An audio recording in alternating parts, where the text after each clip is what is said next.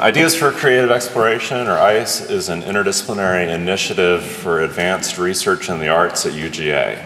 Uh, so the arts being primarily visual arts, music, theater, dance, creative writing. And um, one of the things we've noticed in our 15-year history is through project grants and kind of curated conversations, uh, there's a real trend of uh, students, faculty, community members wanting to do meaningful, new creative work around issues of sustainability. And we're in the middle of a three-year faculty research cluster grant from the Wilson Center for Humanities and Arts, and we've made this kind of um, uh, environment plus arts idea one of the core concepts of what we can do with that uh, three-year grant. Um, so part of this uh, is in bringing people to campus that can really stimulate new ideas, like Amy Franceschini, who's part of a design firm called Future Farmers. They uh, have the successful design career, but then they do these projects on the side, like the San Francisco Victory Garden project, um, where they have cool design solutions like these funky bikes and uh, internet applications that chart all the available places where things could be grown in San Francisco and uh, public uh, lands where things could be gleaned. Um, uh, and they, they show this work in museums like the Guggenheim and have this wonderful kind of crossover uh, practice. And uh, last spring we, we, brought Cassie Meador to campus um, who's part of a company called Dance Exchange uh, in Washington, D.C. We were really interested in a project she did called How to Lose a Mountain, uh, which uh, is, tracks her sort of journey uh, 500 miles from her house in the Metro D.C. area to the uh, mountain in West Virginia that is the source of the coal that powers her house. And uh, it's such a, a, wonderful project. Uh, it has this great backstory. She's a Georgia native, and in her, in her family, there's this story of how her great grandfather lost a mountain in a poker bet, uh, and uh, connecting that up with this project. These uh, playing cards they created were ways of opening up conversations with people they met along the way, and this whole side project emerged called 500 Miles, 500 Stories. And then they, uh, at the uh, destination here, um, they met this uh, person named Larry Gibson, who uh, his family plot of 50 acres is surrounded by 7,500 acres of mountaintop removal.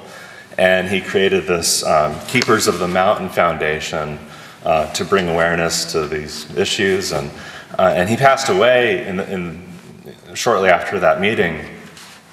And there are a couple things here that are, I think, really profound for how we've been thinking about how we do uh, arts and arts research. One is uh, they kind of built the support for this project through promising a big performance at the end, right? And that's kind of how it works with funding for the arts. You sort of promise something that's going to have a big show and, and a lot of people will come to it. What was actually much more interesting was the process, the journey, and all the kind of engagement that happened along the way. Uh, and then the other thing is that uh, this fellow, uh, Larry Gibson, you know, was kind of creating this foundation and land trust and starting a project where he would never actually see the results in his lifetime. And this is really um, uh, very different from the way we tend to think about things in the arts. Uh, our focus is on the contemporary, having relevance in the current moment, gaining fame uh, in the art world, uh, and uh, this, I think, signals a profound shift here. How can we begin to think about arts and creative work and the kind of long-term impacts in future generations? Uh, we're going to bring Cassie Meador back again next month and hopefully um, uh, in, the, in the third year of our, uh, of our uh, grant. Okay, so a couple of things, new projects growing around here, uh, looking at the campus as a laboratory for creative work uh, Driftmier Woods, uh, material reuse activities, and uh, even the Lamar Dodd building, which has many wonderful kind of sustainable features that we'll try to highlight through uh, new stories.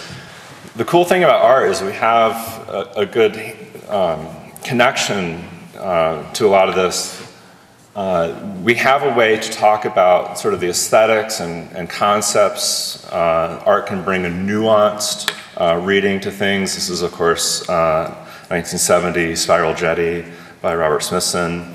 Uh, also in 1970, this great art project, the recycling symbol, um, which was a, came about through a design competition.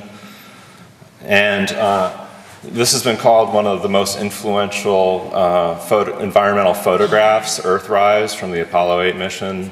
And, um, and this is a real paradigm shifter. When you see this, you see the world in a new way, and it's amazing that art and, art and technology can bring that about. But I think now we need to uh, sort of get beyond this sort of pseudo experience. We need to develop a deeper capacity to um, consider the complexities and nuances, and honestly, some of the depressing aspects uh, of sustainability.